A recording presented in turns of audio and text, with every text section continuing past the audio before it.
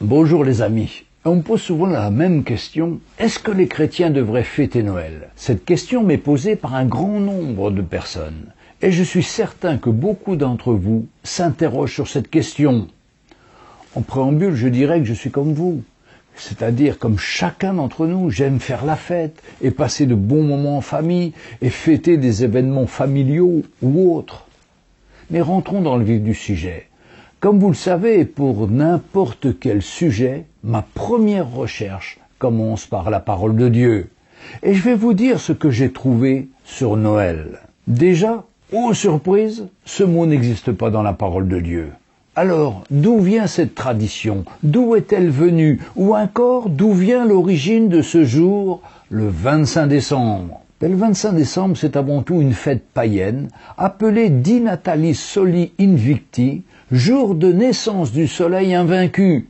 Noël était la fête du soleil et donc de la lumière. Elle correspondait en effet au solstice d'hiver, daté au 21 décembre du calendrier julien et au 25 décembre de notre calendrier grégorien, mis en place par le pape Grégoire XIII en 1582.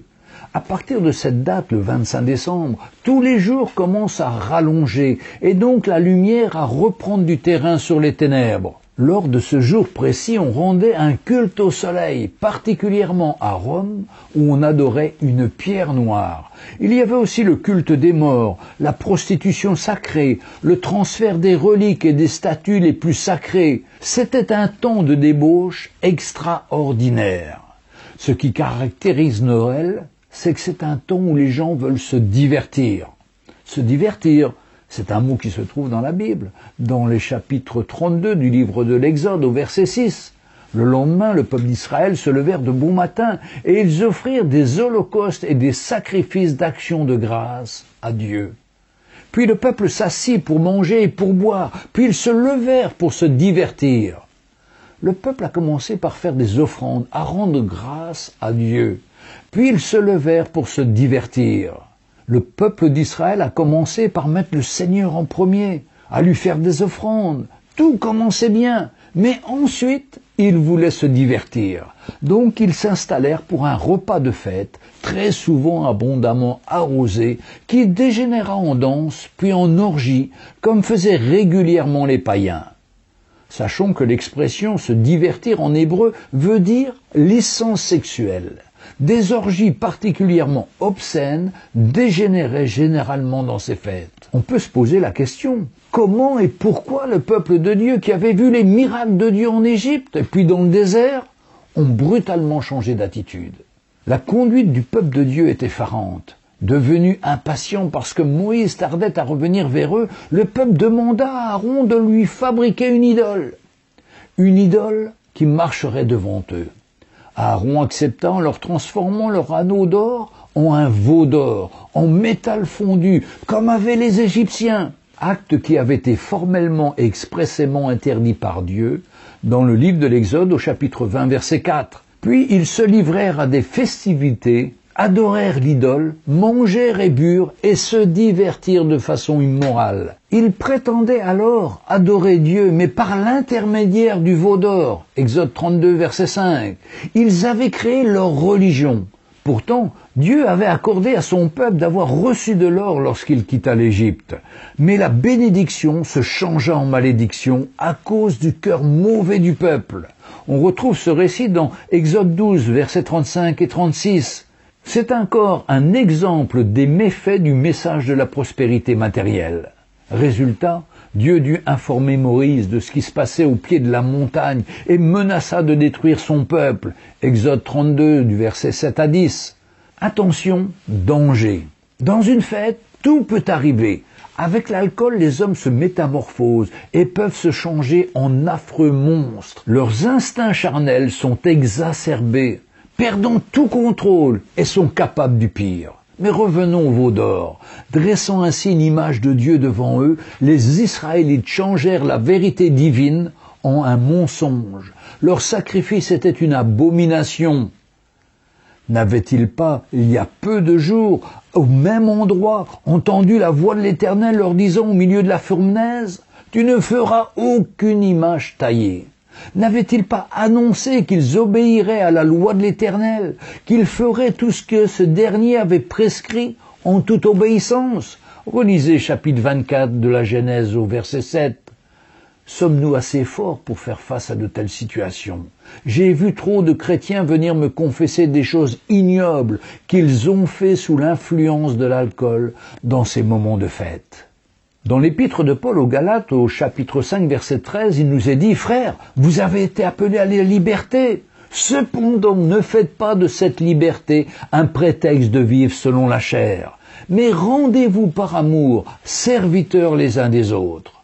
Dans la première épître de Pierre au chapitre 4, verset 1 à 3, ainsi, puisque le Christ a souffert dans la chair, vous aussi armez-vous de la même conviction. Celui qui a souffert dans la chair a rompu avec le péché pour vivre le temps qui lui reste à passer dans la chair, non plus selon les convoitises des hommes, mais selon la volonté de Dieu. C'est bien en effet d'avoir accompli dans le passé la volonté des païens, en vivant dans la débauche, les convoitises, l'ivrognerie, les orgies, les beuveries et les idolâtries infâmes. Mais revenons à cette fête. Depuis le milieu du XXe siècle, cette période perd son aspect religieux, tout en conservant le regroupement des cellules familiales autour d'un repas. Bien sûr, comme je vous l'ai dit plus haut, je suis comme tout le monde, j'aime faire la fête, d'abord avec ma famille proche, puis celle éloignée, et aussi avec mes amis. Puis après se succède une période où l'aspect commercial est venu, avec l'échange de cadeaux autour d'un sapin traditionnel à l'intérieur des maisons, tandis qu'à l'extérieur, tout est fait pour créer une ambiance de fête, de cadeaux, de promotion commerciale. Alors on illumine les rues, puis depuis peu les maisons. C'est à celui qui mettra le plus de lumière scintillante avec le Père Noël et son folklore. Et puis on peut rajouter l'organisation des marchés de Noël. C'est incroyable l'imagination des hommes. Que d'occasions pour y perdre son argent et surtout de ne pas donner pour l'œuvre de Dieu. La Bible ne nous dit pas de fêter Noël et nous ne connaissons même pas la date exacte de la naissance de Jésus-Christ. La Bible nous parle que c'était dans une période où les bergers étaient dehors pour garder leurs troupeaux. Et nous savons tous qu'à la période de Noël en Israël, il fait froid et souvent avec de la neige. Donc pas un temps pour laisser les moutons dehors. Eh bien la naissance de Jésus devait être au printemps ou en été. Pourquoi Jésus n'a pas jugé utile de nous donner sa date de naissance? Jésus connaît les hommes. S'il n'a pas voulu faire savoir sa date de naissance, c'est que cela n'est vraiment pas important. Par contre, tous les autres événements, les dates sont données précisément et avec beaucoup de détails, mais rien sur Noël. Si, il est écrit au jour fixé par Dieu. Et nous n'avons rien d'autre, ce qui veut dire que personne ne devrait fêter ce que le Seigneur ne nous a jamais demandé de faire. Le centre du message n'a jamais été la naissance du bébé, mais surtout sa vie, ses souffrances, sa mort, sa résurrection. Et cela, on peut le fêter tous les jours quand on a Jésus-Christ dans notre vie. Oui, Jésus n'est pas honoré durant ces temps de fête. Il est exactement comme le jour où il est venu sur terre. Il n'y avait toujours pas de place pour lui. Et cela dans beaucoup de cœurs. C'est bien triste. Et que penser des soi-disant chrétiens qui fêtent Noël au sein même de l'Église, avec la crèche, avec le sapin, puis conseillent aux chrétiens de se divertir? Mais eh ça veut dire qu'ils ramènent le monde dans l'Église. Mais trop souvent, le monde y est déjà. Pour ma part, j'ai fêté Noël comme tout Français né dans une famille traditionnelle, catholique et légèrement religieuse, sans comprendre ce qui se passait réellement durant ma jeunesse. Toute la famille allait cette nuit-là à la messe de minuit et nous, les enfants, nous dormions paisiblement à l'étage supérieur de la maison, attendant leur retour afin d'être réveillés pour recevoir leurs cadeaux. Bien sûr, je recevais avec joie ceux-ci que soi-disant le Père Noël m'apportait. Mais rapidement j'ai eu des doutes, car un jour j'ai vu l'un de mes oncles caché derrière la porte du salon de mes parents. Et quand le fameux bonhomme rouge et blanc m'a remis un cadeau, j'ai demandé à mes parents pourquoi avez-vous fait déplacer le Père Noël en personne à la maison pour m'apporter un cadeau aussi minable? Oh, mes parents étaient très gênés et ont très vite parlé d'autre chose. Après la remise de ces cadeaux, nous sommes allés nous recoucher. Et comme la question me turlupinait, alors je suis descendu de l'étage de nos chambres pour savoir ce qui se passait dans la salle à manger. Et là, j'ai vu un spectacle désolant. Certains membres de ma famille étaient en train de chanter, de boire, de monter sur la table, de crier et d'être dans un état d'ébriété avancé. Je suis alors vite remonté tout gêné pour me recoucher. Moi qui avais toujours vu ma famille posée, équilibrée, réfléchie, de les voir ainsi m'avait bouleversé. Le lendemain, en me levant, je vois dans la ruelle qui conduisait à la maison mon oncle à quatre pattes en train de chercher par terre derrière les touffes d'herbe ses papiers militaires qu'il avait perdus lors de cette soirée arrosée de Noël. Quelque chose me montrait qu'il y avait un décalage entre ce qui était dit à la maison et ce qui était vécu il y avait comme deux mondes qui s'opposaient, la lumière et les ténèbres. Bien des années plus tard, j'étais confronté au système de la fête de Noël. Il fallait offrir des cadeaux aux autres membres de ma famille, et c'était pour moi trop hypocrite, car il fallait acheter un cadeau en fonction du cadeau que je recevrais.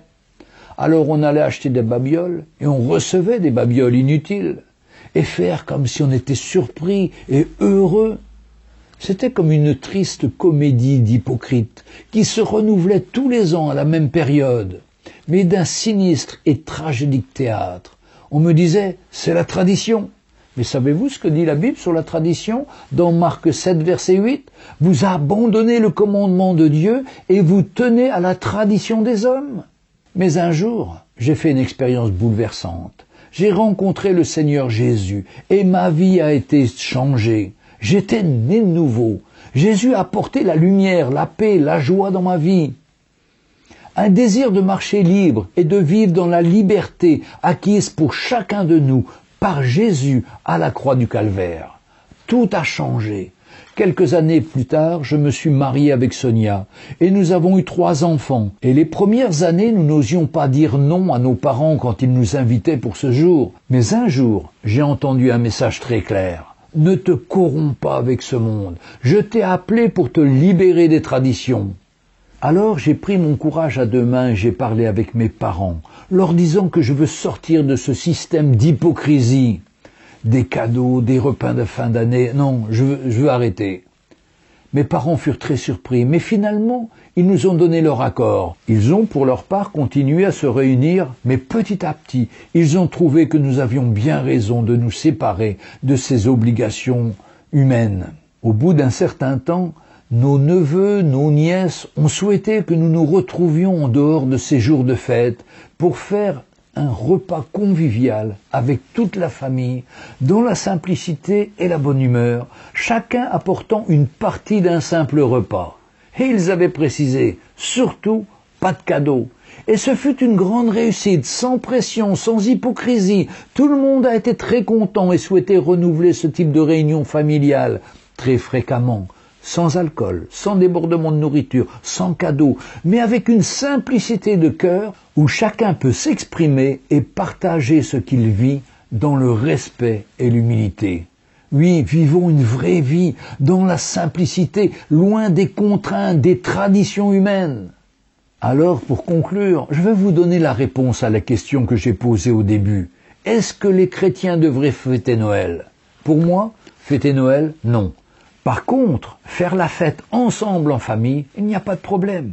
Mais de s'associer à un mouvement qui a non seulement une origine païenne, mais qui nous entraîne dans toutes sortes d'excès charnels et qui finalement, au lieu de nous rapprocher du Seigneur, finit par nous en éloigner. Pour ma part, je ne m'associe plus à cela. Mais c'est à chacun de répondre pour lui-même. Dieu nous a créés libres et c'est à chacun de dire ce qu'il veut vivre et de faire le nécessaire. Que le Seigneur vous aide. Et si vous prenez une position pour lui, c'est sûr, il viendra vous aider. N'oubliez pas de mettre un petit pouce bleu à la fin de la vidéo si vous avez aimé et aussi de poser des questions et de faire des, des remarques et j'essayerai d'y répondre. Donc on se retrouve très bientôt.